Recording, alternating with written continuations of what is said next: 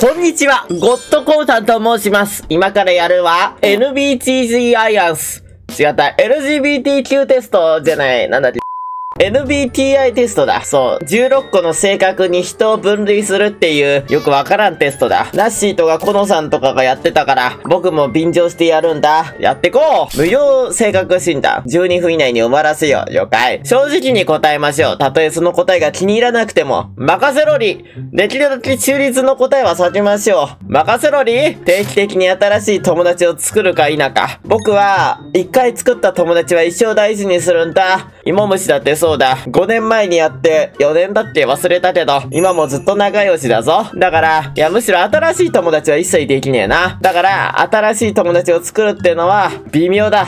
同意しない。が、別にクリエ組入ったらもう友達だから、このぐらいかな。えー面白そうな事柄にあったら研究するために多くの空き時間を費やす。そんなことしねえ。面白そうなことなんて起きりゃしねえ。僕は今ハマっていることをとことん追求するタイプだぜ。他の人が泣いてるのを見たとし自分もすごく悲しくなる。そいつがどうでもいいやつだったら笑い飛ばせるけど、僕にとって大切な人が悲しい目にあったら僕も悲しくなっちゃうんだ。だから、このぐらいかな。大議案の大議案を考えることが多い。どういうこと？それはあれかじゃあ、リンゴ買ってきてね。って言って、マーケットに行ってリンゴがなかったら代わりに梨を買ってくるみたいなことか意味がわからんぞ。リンゴと梨じゃ別物だが、大議案の大議案を考えることは別に多くねえな。だってそのものがなかったら僕は買わないもん。A のものを買ってきてって言われたら、A のものだけを買ってくる。A のものがなかったら、もう、それは仕方がないから、諦めて家に帰るんだ。それ以外の頭を柔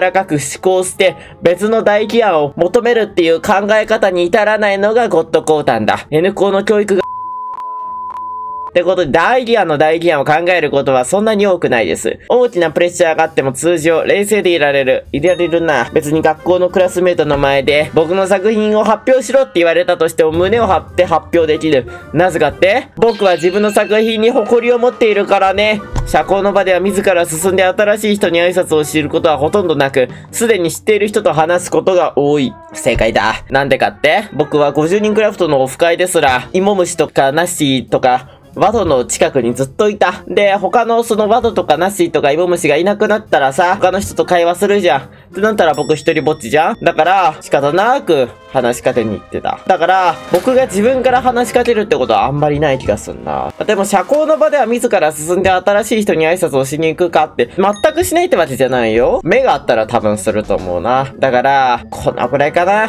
次、一つのプロジェクトを完全に終わらせてから、次のプロジェクトを始めるのが好き。大好き。動画編集終わらせてからじゃないと寝たくないし、お風呂入ってからじゃないとパソコンの場所に座りたくないし、8時過ぎてからはご飯食べたくないから、これはイエスだ。自分はとても感傷的だ。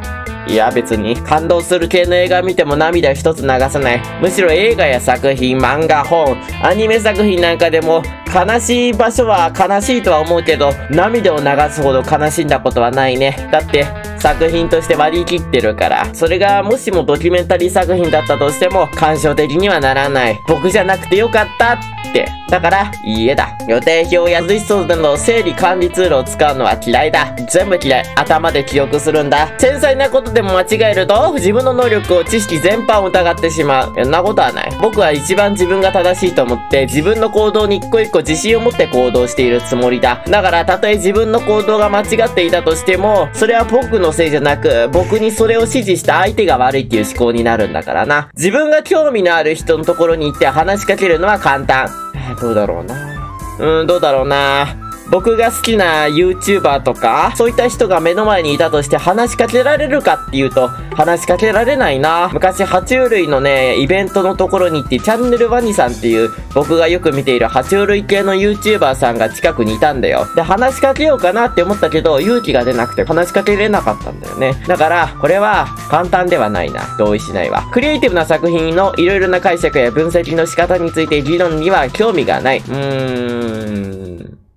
いや、あるよ。興味あるある。全然ある。この作品はこういうのを表してるんじゃないのっていうのを意見をね、交わし合って、お互いの意見をシェアするって行為は大好きだよ。ワドルトとよくやってるからね。で、ワドと僕の意見はなかなか合わないんだよ。で、合わないからこそ別の視点を知れるから、ワドと話すのはすごい楽しいんだよね。自分の心より自分の頭に従うことが多い。僕の気持ちよりも僕が考えることに従うことが多いかってこと？いや違うな。僕は、ああ、ダメだな。今ここでご飯食べちゃうと、夜ご飯食べれなくなっちゃうな。って時でも、目の前に美味しそうな焼き芋があったら焼き芋の方を食べちゃうんだ。後先考えることができない。だから、心じゃなくて、頭は使わない自分の心に正直なんだ。どっちなんだろうな、この場合は。両方同じなような気がするけれども。多分同意しない方かな。頭に従うことは多くないからな。同意しない。日々のルーティンを決めるのではなく、いつもその日にしたいことをするのが好き。そんなことはない別に僕は。だって、家帰ってきて風呂に入んないと落ち着かないし、ご飯食った後は歯磨かないと落ち着かないもんな。だからこれは同意しない。日々は決められたルーティンでこなすのが大好きだ。会う人に印象を残すかどうかほとんど気にしない。うん、どうだろうな。別に、会う人に対して会うような服装とかって、いつもと同じ服装だから、髪型も特に気にしはしないもんな。せいぜい髭を剃るくらいかつってもそんな生えてねえからな。だから、うーん、ほとんど気にしないまあそうだな、ほとんど気にしねえわ。グループで何かをするのは好き。うーん、微妙だな。クリエ組のみんなと一緒に遊ぶのは大好きだよ。でもな、学校の班活動でみんなと一緒に協力してってのは大嫌いだ。僕がリーダーで僕が主体でやりたいからな。だから、ここはあえて、まあ、好き料理の普通くらいかな。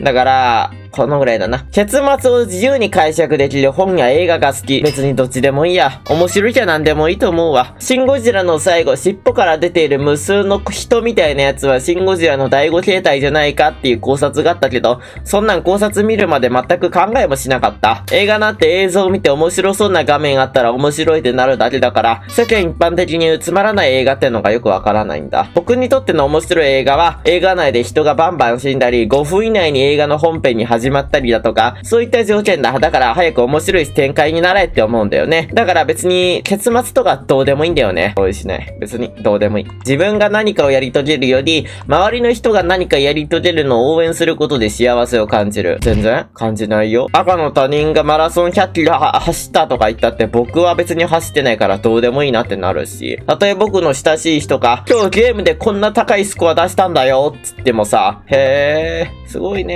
ー、くらいだもん。僕が高いスコア出したわけじゃない。だから別に同意はしない。他人は他人だし、僕は僕だ。いろいろなことに興味がありすぎて、次々に何に挑戦するか決めがたい。そんなことはない別に。物事が悪い方向に向かうのではないかと心配しがち。あ、それはそうかもしんないな。やばいな。明日から YouTube がサービス主流になったら僕死ぬなとかって思うもん。複数人で何かをするときリーダー的な役割を避ける。全然そんなことはないよ。リーダーやってくんないって言われたら全然いいですよっていう。芸術的なタイプでは全然ない。全くそんなことはない。むしろ芸術特化型です、僕は。人々が感情ではなく理性に頼れば、もっと良い正解になると思う。そんなことはないんじゃないかなだって、全部理性に頼っていたらさ、あれじゃない？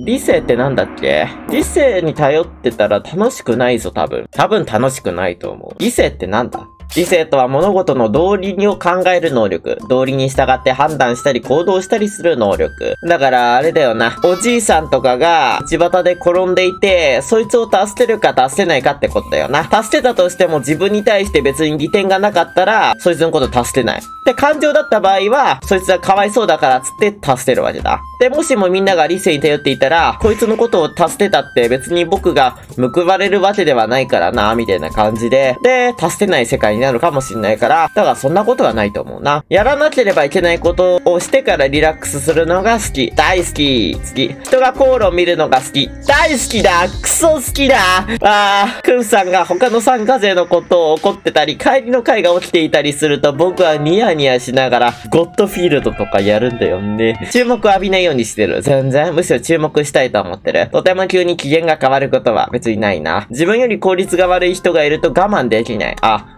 そうかもしんない。僕は効率悪い方だからさ、それよりも効率の悪いことをやってるようなやつ見たら、ねなんでそんなことすんだムカつくななるもん。ギリギリに最後にやっとなんとかすることが多い。それはそう。夏休みの最後に宿題を全部片付けるタイプだ。死後について以前からずっと興味がある。あるね。多分輪廻転生するよ。僕は今後620回生き返るつもりだ。知らんけど。一人でいるより人と一緒にいる方が好き。まあそりゃそうだな。やっぱ家族と過ごした方が楽しいに決まってるもん。えー、議論がとても倫理的になると理屈に感じたり興味を失ったりする。そんなことはない別に。自分と全然違う経験をした人の気持ちをなんとなく理解できる。理解できるよ。いや、違うな。ちょっと違うかも。いつもギリギリ最後まで決断を下せる。それはそうだな。いついつまでにこれのことどうにかしてくださいって言われても、その日の最後の日まで待ってるわ。めんどくさいから。一度決めたらその決断を疑うことはほとんどない。あ、それはそうだな。だってずっと考えて出した決断をまた疑うなんて時間の無駄だもん。とても疲れる一週間を過ごした後は、賑やかな社交な場を楽しみたい。いや、美術館に行くのが好き。嫌いじゃない。大好きだ。他の人の作品を触れることによって、僕にとってインプットすることができる。人の気持ちを理解するのは難しいとよく思う。あー。え僕は別に理解してるつもりだから、いいえだな。日々のやることリストは作ったことない。不安はほとんどない。めっちゃある。電話はかけないようにしてる。はい。電話かけてもかけられてもめんどくさい。自分と違う考えを理解するため、よく多くの時間を費やす。全然そんなことはない。引き流す。友人間でまず誰かに連絡して何か提案するのは自分である場合が多い。それはそうだな。クリエ組で毎回、ね、これやんないとかこれやろうよっていうのは大体僕の気がするもん。え計画が途中で中断されていたらできる限り迅速に再び軌道に乗せるのが最も重要だ。あ？あーっと、だから、オフ会この月にやろう。え、でもこの月って予約いっぱいだよ。そっか、じゃあ別の県のここにしないか？いいねこういうのが再び最も重要かってこと？まあ別に重要かって言ったのはちょっと重要じゃない？ずっと前から自分がした間違いをまだ気にしている。覚えてないな。いいえ。人生の意味や人間が存在する理由について考えることはほとんどない。はい。そんな考えたって答えが出るわけもないもん。感情をコントロールするのではなく、感情にコントロールされている。うん。うん。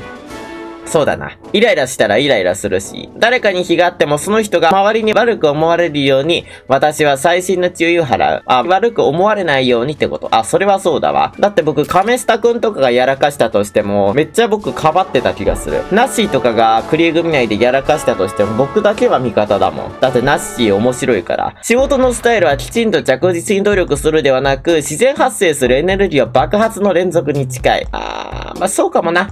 気分が乗んなかったら全くやらないもん。誰かに高く評価されると、その人が自分に落胆するのにどれくらい時間かかるか考えて全然そんなこと考えないよ。ほぼいつも一人で作業する仕事につけたらいいなって思う。あ、それはそう。誰かに任されるとか責任の押し付け合いとかめんどくさくてたまらない。抽象的な哲学的な問題についてじっくり考えるのは時間の無駄だと思う。全くその通りだ。答えが出ない問題に対して何時間も何時間も費やすなんて意味わからんわ。静かな隠れ家のような場所より人がたくさんいて賑やかな雰囲気の方が好き。うん、まあ、それはちょっと違うかもしれないけど。一日一目見ただけでその人の気持ちがわかる。いや、別に一目見てるもわかんねえよ、そんな。重圧で押しつぶされそうだとよく思う。全く思わないわ。一つ一つの順序を追って念入りにことを全うする。いや、賛否両論と言われたことにとても興味がある。それはそうだな。だってヴィーガンがうんぬんとか LGBT がうんぬんだとかってツイッターで見るたんびにバカみてえだなーってニヤニヤしながら見てるんだよね。興味があるよ。でも首を突っ込むつもりはないから、このぐらいだな。自分より他の人の方が必要としているなら、いいチャンスも逃す。全然逃さない。僕の方が必要だからだ。僕よりもその人の方が重要だって思ったとしても僕の方が重要だから。だって僕の人生だもん。僕の人生だから、僕が重要なんだ。僕が一番。僕ファースト。僕の人生において他の人はみんな脇役だ。僕が主人公。締め切りを守るのが苦手。ちょっとかな。ちょっと苦手。物事はうまくいくだろうと自信がある。自信はあるよ。きっとうまくいくって思う。さあ結果は？論理学者か。論理学者は想像力に富む発明家で無限の知識力があります。ですって。知識力か。まあ、ないっちゃないけど、あるっちゃあるな。そんなことあるか？知らんけど。エネルギーは内向型らしい。内向型の人たちは有意義で深みのある交流を好む。交流のうんぬんかんのうんぬんかんのつってるけど、半分だからそんな変わんないな。意識は直感型51%。直感型の人たちは偏見のない心を持ち、想像力が豊か、好奇心も旺盛。独創性を大切にして起こる可能性が低いことや隠された意味に注目する傾向があります。なことはないよ、別に。あと51%ってほとんど半々じゃんかよ。気質は論理型らし。思考型の人たちは、客観性と合理性に集中し、論理を大切にするので、時々感情を無理にしてしまいます。社会の中和より、効果的かどうかを重要にする傾向がある。つっても52%だから半々じゃないか探索型 76%? 探索型の人はアドリブで何かをしたり、様々な機会に対応するのがとても得意です。まあね。自己主張型75%。あ、そうなんだ。やっぱり。僕もそう思ってたんだよね、うすうす。えー、自己主張型の人たちはストレス耐性がある上に、情緒が安定して物おじしません。目標達成に向かっている努力している際には失敗しすぎることはなく、自信を持っている傾向がある。間違いない。これ僕だな。間違いないな。オッケー、わかった。ってことで、LGBT 診断でした。皆さんもぜひこれやってみてください。人間ってのは16のタイプに分かれるとは言ったものの、たったの16なんてポケモンのタイプよりも少ないわけがないんだよな。多分これはみんなが思っているよりも浅い表面上のものを救い上げた結果に過ぎないから、みんなの心の奥底に眠っている LGBT 判断をちゃんとやってみたわ。まあ、こんなサイト気にしなくていいってことだよ、つまり。みんなのことを知ってるのは自分自身だってこと。いいこと言ってる風に見えて何も考えてないからな。ということで、バイチャ。